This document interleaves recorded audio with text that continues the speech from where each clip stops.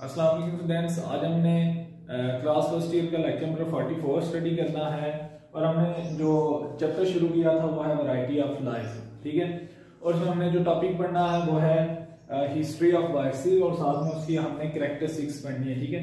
कुछ हिस्ट्री हमने previous lecture में डिस्कस की थी, लेकिन कुछ साइंटिस्ट के कंट्रीब्यूशन आज हमने पढ़ने तो सबसे पहले एक बॉक्स है 72 पेज पे उसमें कंट्रीब्यूशन है टवार्ट और डी हेरले का। टवार्ट ने काम किया था 1915 में और डी हेरले ने काम किया था 1917 मतलब 1917 में, ठीक है? तो सबसे पहले उन्होंने ये कहा कि, उन्होंने कहा कि जो बैक्टीरिया फेजिस वायरस हैं, उनके बारे में उन्होंने अपनी कंक्लूजन दी कि जो बैक्टीरिया फेजिस वायरसेस हैं, ये बैक्टीरिया को इन्फेक्ट करते हैं, ठीक है? और बाद में उन्होंने इसको नाम दिया बैक्टीरिया फेजिस वायरस को कि ये बैक्टीरिया ईटर भी होते हैं, ठीक है?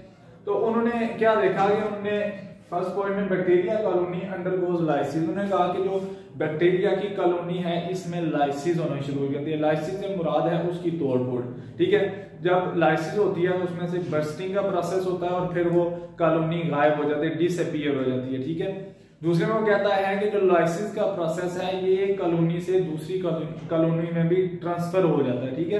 कि लाइसिस एक कॉलोनी बैक्टीरिया की एक कॉलोनी में हो रही है तो ट्रांसफ़र होकर दूसरी कॉलोनी के अंदर भी जा सकती है, ठीक है?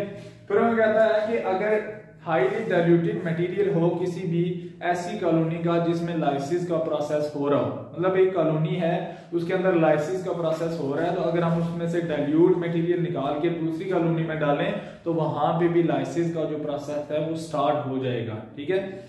और फिर लास्ट में उन्होंने कंक्लूड ये किया कंक्लूजन ये निकाला कि जो लाइटिक एजेंट्स थे या ऐसे एजेंट्स जो लाइसिस का प्रोसेस करवा रहे थे वो वायरसेस होते हैं, ठीक है? तो ये टवार्ड और डी हेरले का काम है। सबसे पहले ने ये कहा कि जो बैक्टीरिया फेजिस वायरस है, ये बैक्टीरिया को क्या करता है? इन्फेक्ट करता है। फिर ने कहा कि ये बैक्टीरिया ईटर इनको हम कह सकते हैं। फिर वो कहते हैं कि अगर एक कॉलोनी में लाइसिस हो रही है तो वो दूसरी कॉलोनी में उसकी ट्रांसफ़र हो सकती है थ्रू अ लाइटिक एजेंट और उस लाइटिक एजेंट को वो नाम देते हैं वायरस का, ठीक है? फिर उसके बाद एक और साइंटिस्ट हैं जिन्होंने 1892 में काम किया अवनास्की अवनास्की ने काम किया था टोबैको मोजेक जो डिज़ीज़ काजिंग एजेंट था उसके ऊपर, ठीक है? टोबैको मोजेक एक तंबाकू की डिज़ीज़ है। तंबाकू के प्लांट पे डिज़ीज़ होती है तंबाकू मोजेक डिज़ीज़ उसे कहा जाता है। तो जो उसकी काजिंग एजेंट्स थे, उन पे अवनास्की ने काम किया था। तो उसने कहा कि ये जो डिज़ीज़ काजिंग एजेंट्स हैं टोबैको मोजेक डिज़ीज़ के ये फिल्टरेबल है, ठीक है? मतलब कि वो फ़िल्टर में से गुजर जाते हैं। तो उसने अपना एक्सपेरिमेंट परफॉर्म किया, उसने ये किया कि एक इन्फेक्टेड प्लांट था। मतलब कि जिसमें तम्बाकू मोजेक डिज़ीज़ हुई हुई थी। इन्फेक्टेड प्लांट वो होता है जो मुतासरा प्लांट होगा। तो उसने, उसमें से डिज़ीज़ काजिंग एजेंट्स को लिया, ठीक है? फिर उसने फिल्ट्रेशन का प्रोसेस किया, ठीक है? उसने उनको एक फ़िल्टर में से गुजार कर तो दोबारा एक हेल्दी प्लांट था, उसके अंदर इंट्रोड्यूस करवाया। उस डिज़ीज़ काजिंग एजेंट को। वो देखना चाहता था कि आया कि ये जो डिज़ीज़ कॉजिंग एजेंट है, ये फ़िल्टर हो जाता है, या नॉन फिल्टरेबल है। ठीक है? तो उसने सबसे पहले एक इन्फेक्टेड प्लांट लिया। ऐसा प्लांट जिसमें टोबैको मोजेक की डिज़ीज़ थी। उसने फिर डिज़ीज़ काजिंग एजेंट्स उसमें से निकाले, उसके लीज में से, और फिर उनको फ़िल्टर किया। फ़िल्टर करने के बाद उनको क्या किया उसने? कि एक हेल्दी प्लांट के ऊपर इंट्रोड्यूस करवाया। जब उसने हेल्दी प्लांट के ऊपर इंट्रोड्यूस करवाया तो जो टोबैको मोजेक डिज़ीज़ थी, वो हेल्दी प्लांट में आ गई। तो फिर उसने ये कंक्लूजन निकाला कि ये जो डिज़ीज़ का डिज़ीज़ काजिंग एजेंट है टोबैको मोजेक का, ये फिल्टरेबल है। अगर वो फिल्ट्रेशन का प्रोसेस नहीं करता तो उसे कैसे पता चलता? ठीक है? सबसे पहले उसने हेल्दी प्लांट लिया फिल्ट्रेशन की तो एजेंट्स फ़िल्टर हो गए। नेक्स्ट जब उसने दोबारा उसको इंट्रोड्यूस करवाया तो उसने देखा कि जो एक हेल्दी प्लांट था, उसमें वो डिज़ीज़ आ गई है, ठीक है? उसके बाद हमारे पास कंट्रीब्यूशन आ जाता है स्टैनले का, ठीक है? 1935 में स्टैनले ने क्या किया कि जो फ़िल्टर एबल एजेंट्स थे मतलब ऐसे एजेंट्स जो फ़िल्टर हो जाते थे, जैसे हमने कहा था ना कि जो रेबीज वायरस है, वो फिल्टरेबल है, ठीक है? जैसे उसके बाद हमने कहा टोबैको मोजेक जो डिज़ीज़ काजिंग एजेंट है, ये भी फिल्टरेबल है। तो उसने जो फिल्टरेबल एजेंट्स थे, उनको 1935 में क्या किया? उनको प्योरीफाई किया। प्योरीफाई किया उनकी क्रिस्टलाइजेशन करके। सबसे पहले उसने टोबैको मोजेक वायरस लिया, उसकी क्रिस्टलाइजेशन करके उसको क्या किया? प्योरीफाई कर लिया। तो याद तक एक तो आपके पास क्वेश्चन आ जाता है, सबसे पहले कि what is the contribution of Twort and d'Herelle तो टुआर्ड एंड डी हेरले ने हमें बताया कि जो लाइटिंग एजेंट है जो लाइसिस कॉज कर रहा है, वो क्या है? वायरस है। और फिर बैक्टीरियोफेज के बारे में उसने बताया। फिर उसके बाद आ जाते हैं अविनास्की अविनास्की ने हमें बताया कि जो मोजेक डिज़ीज़ काजिंग एजेंट हैं टोबैको मोजेक डिजीजिंग एजेंट वो फिल्टरेबल होते हैं। नेक्स्ट आपके पास आ जाता है स्टैनले का कंट्रीब्यूशन तो स्टैनले ने क्या किया कि जो फिल्टरेबल एजेंट्स थे, उनको क्रिस्टलाइजेशन का प्रोसेस करके तो उनको प्योरीफाई किया। ठीक है? तो ये इन तीनों साइंटिस्ट के कंट्रीब्यूशन हैं। इसके साथ आ जाता है करेक्टरिस्टिक्स ऑफ़ वायरसेस ठीक है? कि वायरसेस की खसूसियात कौन कौन सी होती हैं? आपने जैसे पिछले टॉपिक में पढ़ा था वायरसेस आर नॉन सेलुलर मतलब वो उनमें एक सेल भी नहीं होता, ठीक है? तो एक उनकी ये करेक्टरिस्टिक्स आ गई, वो इन्फेक्शियस पार्टिकल्स होते हैं। लेकिन यहाँ पे कुछ उसने स्पेसिफिकेशन हमें बताई हैं। सबसे पहले में बताता है एक्सट्रीमली स्मॉल ठीक है? एक्सट्रीमली स्मॉल से मुराद ये है कि ये बहुत ही छोटा होता है। और अगर हम इसको देखना चाहते हैं तो हम यूज़ करेंगे इलेक्ट्रॉन माइक्रोस्कोप को। इलेक्ट्रॉन माइक्रोस्कोप को। ठीक है? इसका जो साइज़ है, वो बिल्कुल छोटा होता है तो हम उसके लिए इस्तेमाल करते हैं इलेक्ट्रॉन माइक्रोस्कोप अगर हम इसका साइज़ देखना चाहते हैं तो वो साइज़ इसका होगा तकरीबन 20 नैनोमीटर से लेकर 20 नैनोमीटर 20 नैनोमीटर पैरो वायरस का साइज़ होता है, ठीक है? 20 नैनोमीटर से लेकर 250 नैनोमीटर पॉक्स वायरस, ठीक है? ये यहाँ तक पॉक्स वायरस, ये वायरस का नाम है तो ये साइज़ इतना हो सकता है। 20 नैनोमीटर सबसे छोटे का और बड़े का 250 नैनोमीटर, ठीक है? उसके बाद और बताता है कि जो आपके पास वायरसेस हैं, ये फिल्टरेबल होते हैं। फिल्टरेबल जैसे हमने कहा था कि रेबीज वायरस पोर्सिलेन फ़िल्टर में से फ़िल्टर होके तो आगे चला जाता है। ठीक है? मतलब कि अगर हम इसकी फिल्ट्रेशन करें तो ये फ़िल्टर पेपर में से गुजर जाते हैं। ठीक है? अगर हम देखें तो ये 10 से हज़ार गुना ten to thousand times smaller होते हैं बैक्टीरिया से। ठीक है? तो ये इजीली फिल्टरेबल भी होते हैं। अगर हम फिल्ट्रेशन करें बैक्टीरिया को आपके पास ये फ़िल्टर है, जैसे ठीक है? तो अगर हम यहाँ से बैक्टीरिया डालते हैं तो बैक्टीरिया फ़िल्टर नहीं होते, ठीक है? और अगर हम वायरसेस यहाँ से एंटर करेंगे तो जो वायरसेस हैं जो वो इस फ़िल्टर पेपर से फ़िल्टर हो जाते हैं, ठीक है? तो टेन से हज़ार टाइम स्मॉलर होते हैं बैक्टीरिया से तो इजीली फिल्टरेबल भी होते हैं। नेक्स्ट आपके पास उसकी एक करेक्टरिस्टिक्स आ जाती है ऑब्लिगेट इंट्रासेलुलर पैरासाइट ठीक है? इंट्रासेलुलर कौन सा हो गया? इनसाइड द सेल वो वर्क तब परफॉर्म करेगा रेप्लीकेशन तब स्टार्ट करेगा, जब वो किसी सेल के साथ जाके मिलेगा। ठीक है?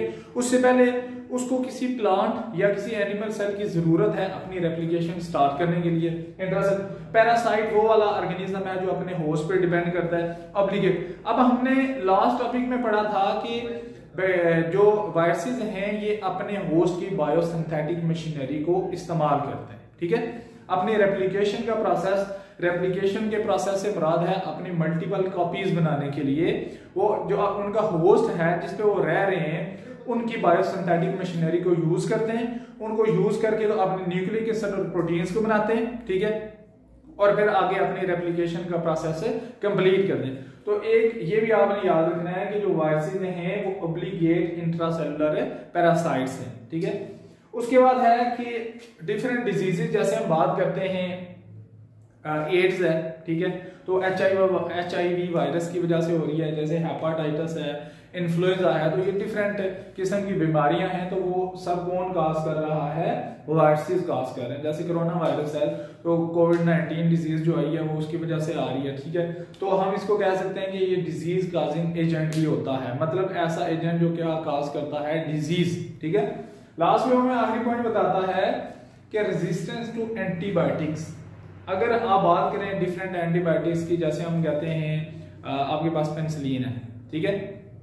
तो जो बैक्टीरियल इन्फेक्शन होते हैं, उनके लिए हम यूज़ करते हैं किसको? एंटीबायोटिक्स को। लेकिन जो वायरसेस की वजह से इन्फेक्शन होते हैं, उसके अगेंस्ट हम एंटीबायोटिक्स को इस्तेमाल नहीं कर सकते। रेजिस्टेंस का मतलब क्या होता है कि उनमें वो आगे से जो मजामत जिसे कहते हैं, अगर हम वायरसेस के अगेंस्ट एंटीबायोटिक्स को यूज़ करते हैं तो वो उसको क्योर नहीं कर सकेंगे, जो एंटीबायोटिक्स हैं, ठीक है?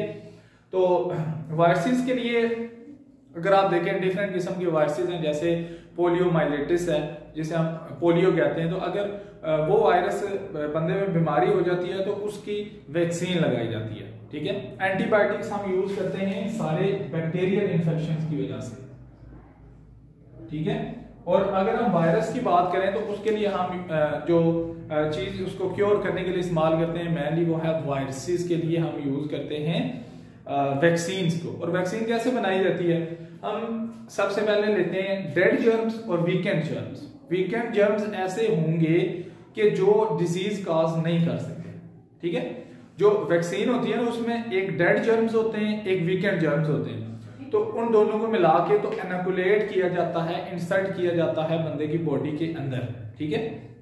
जो बंदे की बॉडी के अंदर एंटर किए जाते हैं तो जो आपके व्हाइट ब्लड सेल्स हैं, वो क्या हो जाते हैं? एक्टिवेट हो जाते हैं इम्यून सिस्टम को एक्टिवेट करते हैं। और जब दोबारा से, अब देखें, अगर हम पोलियो के डेड और वीकेंड जर्म्स बॉडी में दाखिल करते हैं, ठीक है? तो आपका जो इम्यून सिस्टम है, वो एक्टिवेट हो जाएगा अगेंस्ट पोलियोमाइलिटिस वायरस तो जब ओरिजिनल वायरस उसके ऊपर अटैक करेगा तो इम्यूनिटी इतनी होगी कि उसको रेजिस्टेंस कर सके, उसको आगे से रोक सके। लेकिन एक और आपको बात बताता चलूँ कि जो वायरसेस हैं, इनके अगेंस्ट वैक्सीन बनाना थोड़ा सा डिफरेंट भी है, थोड़ा सा डिफ़िकल्ट है।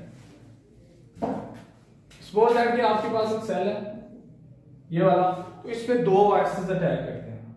ठीक है? एक ये वायरस अटैक करता है, एक ये वाला, इसके ऊपर वायरसेस अटैक करते हैं। तो अब जो वायरसेस हैं, इनकी सरफेस के ऊपर प्रोटीन्स होती हैं, ठीक है? जो इनकी सर्विसेज़ हैं, इनके ऊपर प्रोटीन होती हैं, अब उन प्रोटीन को आपके वाइट ब्लड सेल डिटेक्ट करते हैं, ठीक है? जब वो वाइट ब्लड सेल उसको डिटेक्ट करते हैं तो फिर उसके अगेंस्ट इम्यूनिटी वो बना लेते हैं, उसको डिफेंड कर लेते हैं। लेकिन अगर आप देखें कि एक सरफेस प्रोटीन इसके ऊपर मौजूद है, एक इसके ऊपर मौजूद है। अगर ये दोनों आपस में इंटरमिक्स हो जाते हैं, ठीक है?